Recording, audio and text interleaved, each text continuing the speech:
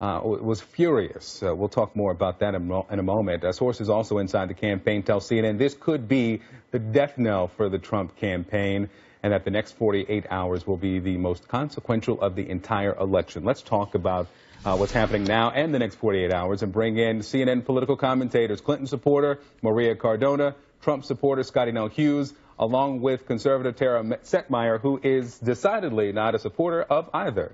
Good to have all of you this morning. Good morning, Victor. Hey, hey, Scottie, I want to start with you, and I, I know that you are not happy with the words. You, you abhor the words that, that Donald Trump used, but I want to know what is your feeling on the apology you just watched? Well, I think he apologized, which is something we have not seen yet. And to sit there and judge about the grade of it, was he sincere enough? Did he say the right words? We're not going to make everybody, I don't think he's going to make everybody happy with that. But we take the apologies that came from Hillary Clinton about insulting about the deplorables, about the emails, about her server. We take those apologies and we just say, okay, she apologized, let's move on. Uh, this, all we're, now we're going to have to sit here and, and look in, at what he said, how he said it, the tone of voice, his body language. He apologized. We'll have more of a conversation obviously going forward to it tomorrow night into the debate. And if, for those of you who say, well, an apology wasn't enough, then why did you let Hillary Clinton's apology? Uh, was that enough for you as well? The double standard is once again very evident in this case. Tara? Well, I, I, would I would challenge um, someone to go body experts and people who are experts in this in this field to analyze that video and tell us if they think that Donald Trump was sincere. Most people objectively looking at that would say that he looked it looked like a hostage video and it looked like, you know, when you apologize, you don't qualify your apology with saying, "Yeah, but the other guy did it too," or the other guy was worse. That's not a sincere apology. That's where the sincerity aspect of this comes into play. Because if you honestly, heartfelt believed mm. that what you did was was so wrong, that you wouldn't go and point to go to the other guy. That's just not the way it works. So it's clear that Donald Trump got caught.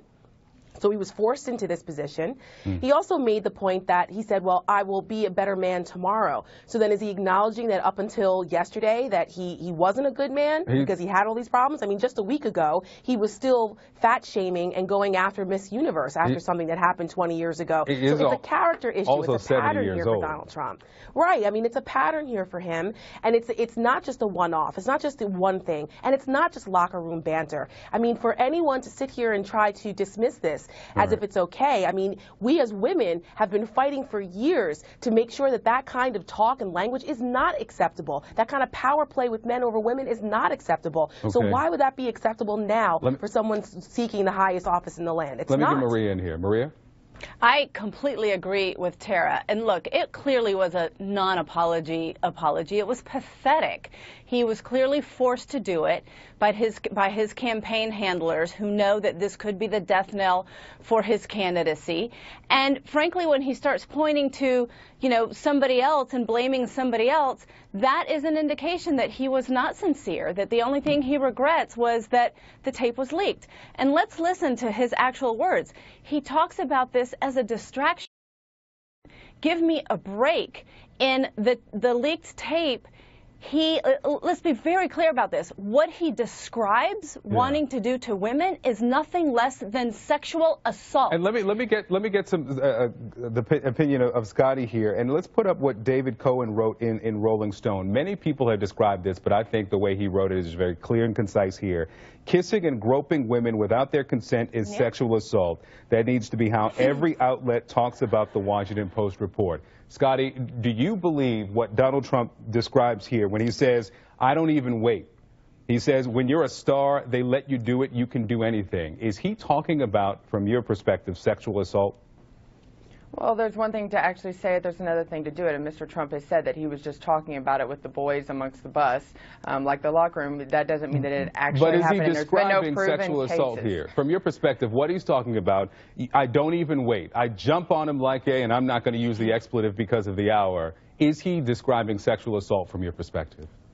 If there was actions behind it, then I would say yes, but there's no actions that say that it backs this up. And this is, I mean, if we're going to go after every man, then let's go into every locker room. And just like John 8, 7 says to us that it, the he that it was that is without stone or clean, may you cast the first stone. Every uh, man uh, is know, not running for president. Scottie. But Every this was, but this was for the highest office in the 11 land. years. This was 11 years ago, and I He agree. was 60 years you cannot old. defend of it. He wasn't you 20.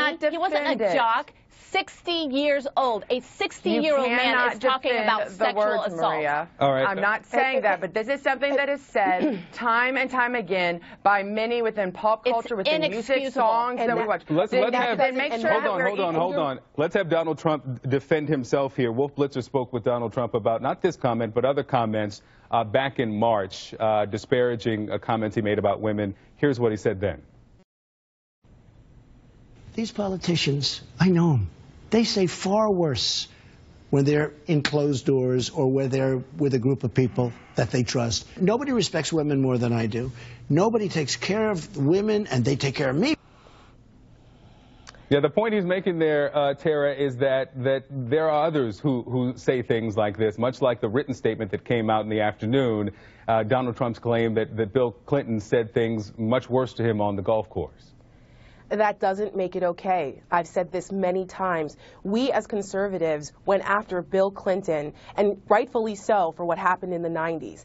And anyone who tries to sit there and point fingers and say, yeah, but Bill Clinton did it, is a hypocrite. If you're excusing away Donald Trump's behavior, that doesn't, just because other people do it, doesn't make it okay. This is a very elementary school defense. And something else, just to put this in perspective. Sure. Women vote at a higher rate than men and have since the 1980s. Women make up 51% of the population.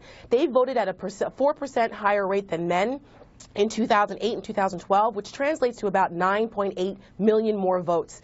This, if you want to just get down to brass tacks here, this is catastrophic for Donald Trump Yeah. because most women are going to look at this and, and be repulsed by it as they should be. So to sit there and try to say that, oh, this is just men being men, that is that. First of all, that's a casting aspersions on the majority of men who are good and decent men who would never speak that way about women, especially uh, you know uh, married women.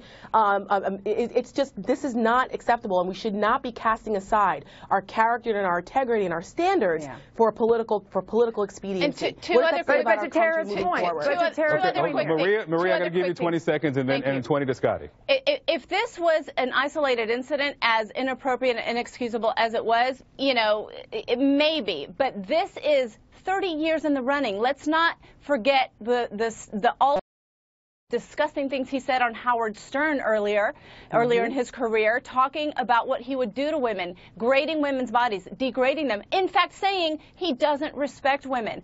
And an AP report came out about how he was abusive to the women on The Apprentice. A Los Angeles Times story came Yeah. out about how he wanted to fire hostesses in one of his res- resorts for not being mm-hmm. pretty enough. Let's be very clear. This man is an irredeemable pervert and sexual predator. Scottie, Period. And our Take your own 20. Erin, our, really, just really quick, our own Erin Burnett last night on air confirmed that a friend of hers was in fact in a situation like that in a Yeah. boardroom All right. where Donald Trump popped in Tic Tacs and kissed her without her consent. So there's your, there's your, there's your Scottie, example. you're, That's you're, an you're the sole Trump supporter on, on the panel. I got to give you 20 seconds. Go ahead.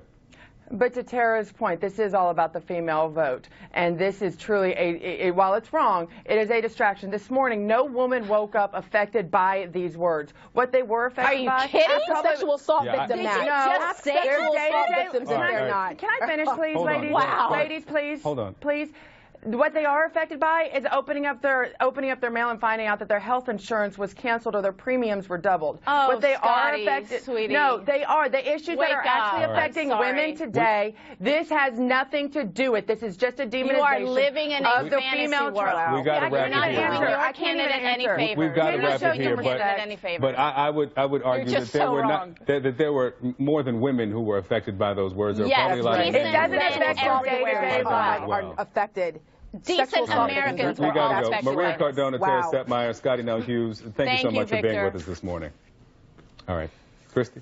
Hillary Clinton's relationship with Wall Street. That's been a, a constant topic, it seems, since she entered the race. But you know what? New information posted from WikiLeaks could bring a whole new perspective to that issue. We're talking about that.